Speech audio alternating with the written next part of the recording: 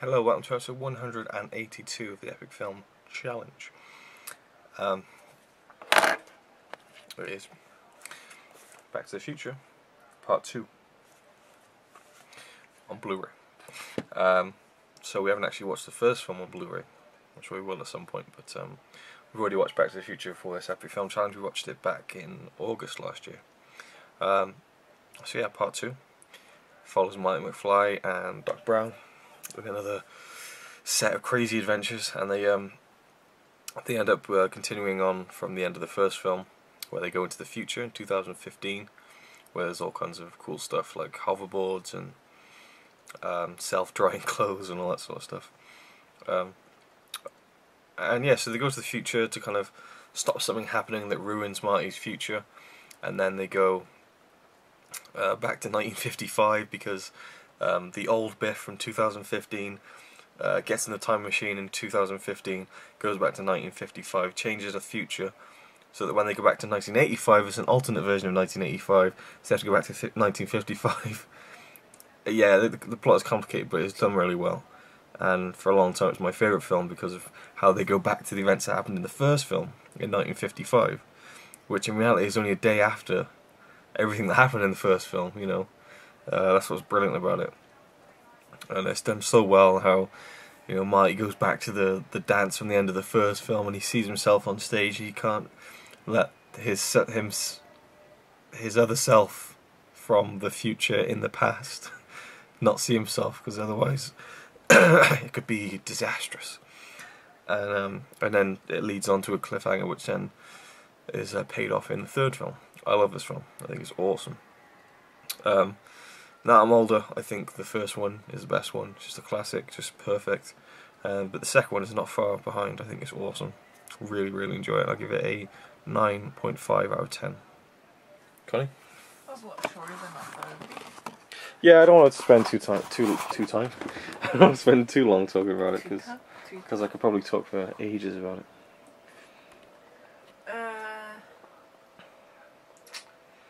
Know if I like this one better than the first one.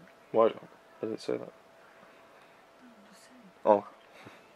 I don't know which one I like the most because I like all of them so much, you know. Mm -hmm. Should note that you're crocheting there. It looks like you kind of got some kind of CSI crime scene going on there with the blue light. yeah. No. Um. It's not really blue, is it? It's just white. Oh, sorry.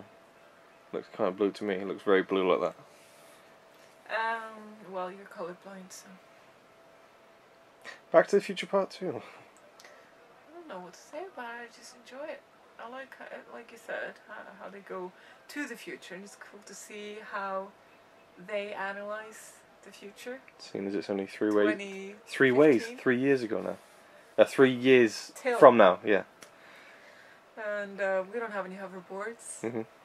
We don't have any. Um, well, there's like this thing on Facebook. There's a picture of Marty on the hoverboard, and it says, "Scientists, you have three years." yeah, I've seen it, but uh, yeah, and also it's interesting to see how,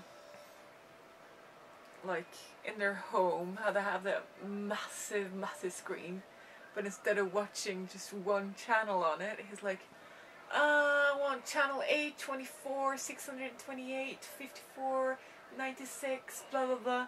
And he look, watches eight different channels at the same time.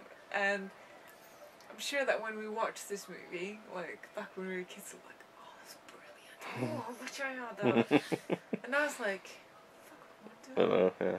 What's up your head? One, too many pictures at one time. Three, two. You're going too far in the pay future. Pay attention to.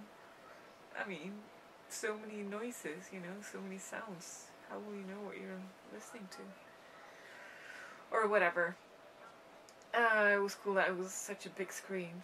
Um, it was interesting how they had video call.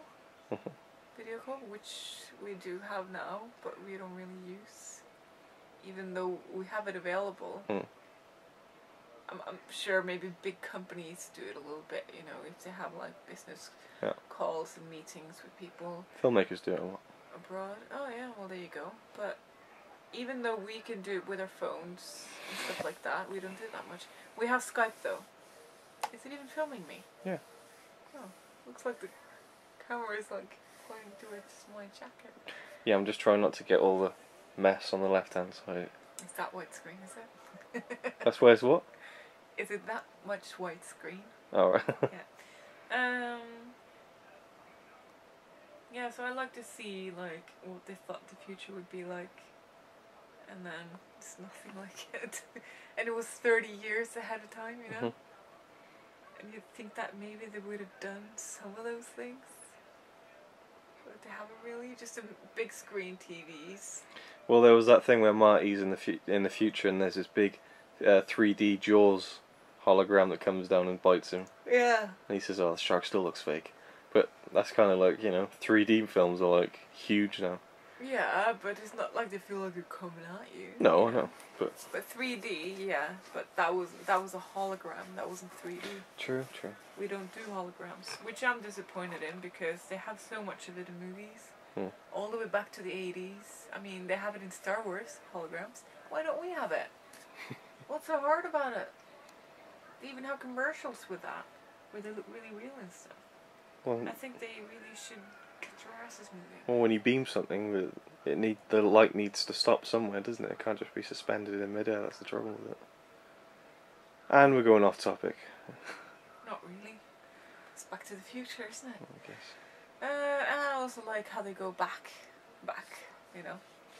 Um, what did you give it?